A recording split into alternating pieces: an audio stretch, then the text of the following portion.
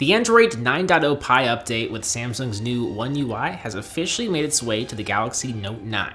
If you've watched our video going over the Samsung One UI on the Galaxy S9 Plus, then this video is going to be very similar, but there are a few new features that I did include in this video. So let's get started. Right away, you're going to notice the new look. The lock screen widget and always on display widget have been cleaned up a bit, and there are now some new icons in each corner for the camera and phone shortcuts. In addition to the new clock widgets for the always on display, what is also kind of neat is you can now see when the phone is charging through the always on display. This seemingly simple feature wasn't available in the past. You'll see that these stock icons are different. They're flatter, more consistently round in shape. The color palette is more modern and everything seems a bit bigger and magnified. Many of Samsung's stock apps have been updated with a new design, one that makes it much easier to navigate with one hand even if the display of your smartphone is massive. Samsung accomplishes this by using big headers that push everything down, and they have relocated a lot of the menus to the bottom of the display instead of at the top. Overall, I like what Samsung is doing with their stock apps. We'll see a similar design with the notification panel and quick settings where the icons appear much larger, flatter, and simpler in appearance. When you expand the quick settings, you'll see they get shifted much further down on the display and the brightness toggle is on the bottom of the screen, which is way easier to reach with your finger. Going into the settings, you'll see a similar story where the settings header is massive and takes up almost half the screen. The icons next to each settings topic are small, flat, and simple. One thing I noticed is that there are no additional drop-down menus inside each subcategory.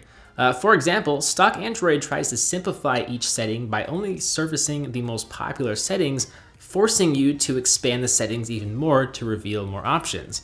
I kind of like how Samsung didn't keep with that layout as you get all of the settings options without having to tap the screen again and search for things.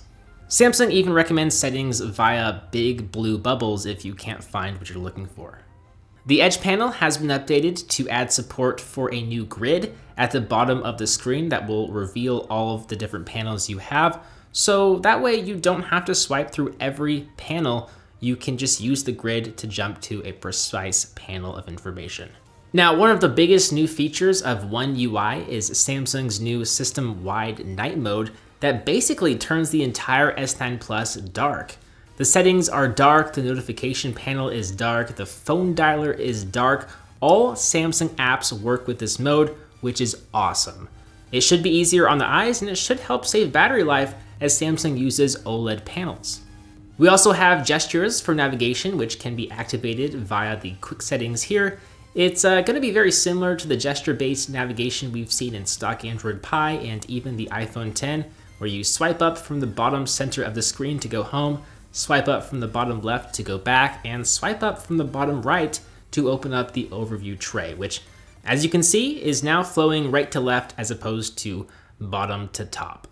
To multitask, you have to tap the top of the application in the overview tray and tap on open in split screen view.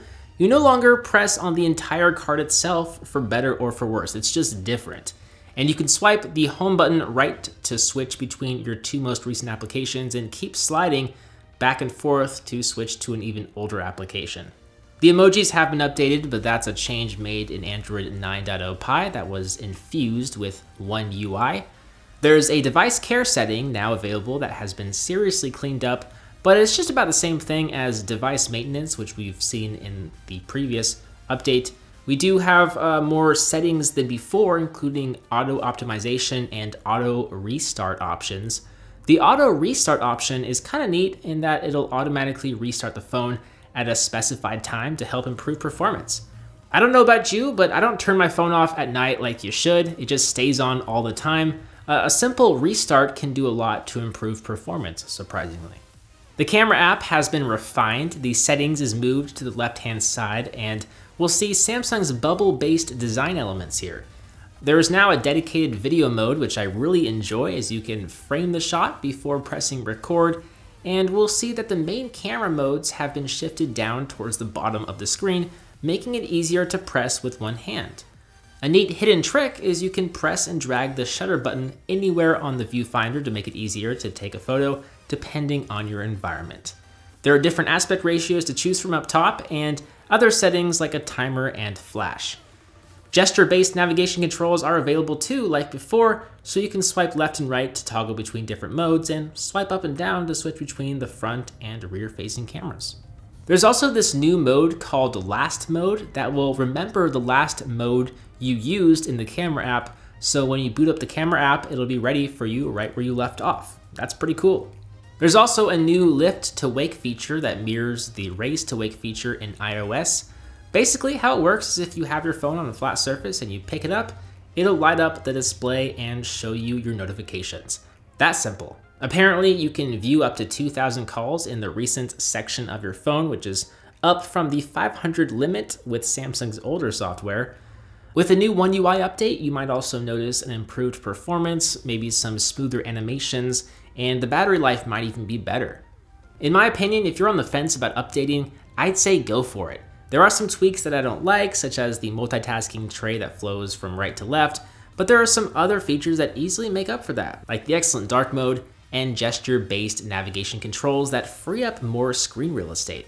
Also, since Samsung has included a security patch with this update, you really should update your phone so that it's as secure as possible. Let me know your thoughts on Samsung's new One UI skin. What do you like or dislike about it? Let us know in a comment down below. As always, I'm Beau HD from PhoneDog.com. Thanks for watching. I hope you enjoyed this video, and I will see you right back here in the next one. See ya.